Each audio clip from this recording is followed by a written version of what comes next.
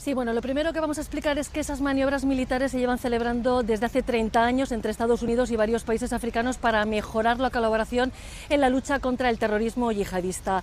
Marruecos anunció que esos entrenamientos se iban a hacer en, aguas del Sáhara Occidental. Incluso el propio jefe del Estado, el Otmani, había publicado un Twitter que luego tuvo que borrar, porque eso supondría un espaldarazo más para Marruecos y para su reclamación sobre la marroquinidad del Sáhara Occidental, que ocupa en buena parte. España declinó la invitación y finalmente, después de cierta incertidumbre, Estados Unidos, la nueva administración de Biden, ha despejado dudas y ha aclarado que los entrenamientos no se realizan en el Sáhara Occidental, sino en el sur de Marruecos.